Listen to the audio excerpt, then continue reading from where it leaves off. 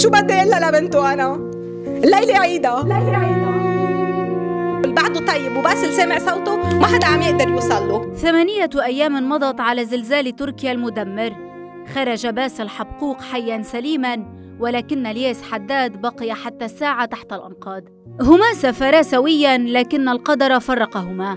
نجا الأول ليبقى مصير الثاني مجهولا. حتى الساعة لا مبادرة رسمية من الدولة اللبنانية لمحاولة إنقاذ أو إخراج الياس من تحت الركام. واقتصرت الجهود على مبادرة شخصية لأصدقاء الياس الذين سافروا عقب الزلزال وهم يحفرون بأظافرهم لإيجاد صديق عمرهم. عم نشدكم إنه على الأرض بدنا مساعده ما في إغاثة من وقت ما صارت الخبرية بتركيا ما في إغاثة الدولة اللبنانية ما تحركت وبعتت أكيب لهونيك. في شيء كله صار على صعيد فردي بعد شابين رفقاته لهونيك لحتى يشوفوا شو يعملوا هونيك على الأرض. بس مين؟ زياد خير الله عنده مكتب فلاديمير وشاب تاني كمان عنده بولمان اسمه هشام الشحادي هن يلي قدروا يطلعوا على تركيا نهار الخميس. نزلوا من عندي على المطار تيلحقوا الياس ويشوفوا شو صار فيه. بدي please هيئة إغاثة من الدولة هي تروح تبعت équipe ات تشوف كيف بدها تطلع الشباب اللبنانية. كلهم بينعدوا على الأصابع هونيك الشباب اللبنانية بهيدا الأوتيل. ما حدا تحرك كله نايم. تواصلتي مع زياد وهشام. شو عم بخبروكم هونيك؟ كيف عم بينبشوا؟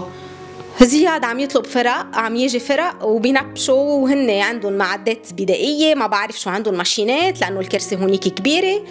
بينبشوا شوي بيوقفوا وشوي بيشتغلوا شوي بترجع بتجي هزة تانية ارتدادية ارتدادية بيرجعوا بيوقفوا بفلوا وهيك مقضيينها. تحرقص والإعلام هون كمان بيطلع fake news كتير طلع بس النهار الأربعاء كل في الإعلان استلمنا. طلعوا الياس طلعوا الياس. مش معقول كمان لازم يعملوا limit على حالهم شوي الإعلام. لأنه عيشوني على أعصابي وهريوا لي أعصابي. بعده طيب وباسل سامع صوته ما حدا عم يقدر يوصل له. مش يبعتوا لي Croix Rouge يطلعوا هيك. مناظر مع بوكيات ورد و Exotica ويرجعوا. هاو ما بينفعوا. رولا المير زوجة الياس تصرخ اليوم عبر سبوتشات لعل صراخها هذا يهز ضمائر المسؤولين. الليلة عيد ميلاد بنته. أنا شو بقول لبنته؟ شو بدي إلا لبنته أنا؟ الليلة عيدها. شو بدكن إلا؟ ما حدا واعي لا وزراء ولا نواب. بدي تلفن وبدي يترجى. مشكورين اللي سمعوني بس كمان كتير. هيدا تأمن يوم؟ حدا بيقبلها على حاله؟ يقولوا لي. تأمن يوم هو تحت الأنقاض. يمكن يكون عايش بعد في أمل اليوم عندكم أمل إنه ممكن اليوم نلاقي الياس يكون بعده عايش. أمل كبير بالله بس كمان كل ما نتأخر الوقت منه لصالحنا. عم يسألوك ولادك عن بيون؟ أكيد شو؟ كتير طبيعي أكيد. عارفين ومحطوطين بالأجواء اولادي وما في دولة ما في دولة تبعت هيئه اغاثه لحتى تشوف شو بدها تعمل. يتحركوا على الأرض. كله أنا أخذت مبادرة شخصية وبعثت الشباب وراه.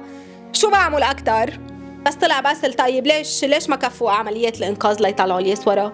ليش؟ ليش كل مرة بيوقفوا وما بعرف شو بيصير معهم؟ كل القصص متروكة. وممنوع نوقف حياة إنسان. ممنوع بدي إياه. طيب جيبوه تفضلوا. حدا يتحرك.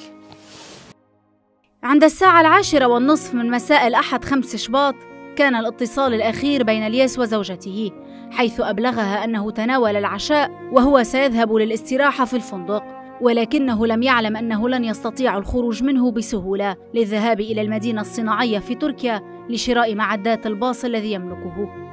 الدولة نايمة ما في حدا ما في حدا بحكي بحكي كله نايم لا في خارجية لا في داخلية ما في حدا ما في ما في حدا يعمل شي بهالبلد لحدا عن جد مزرعة.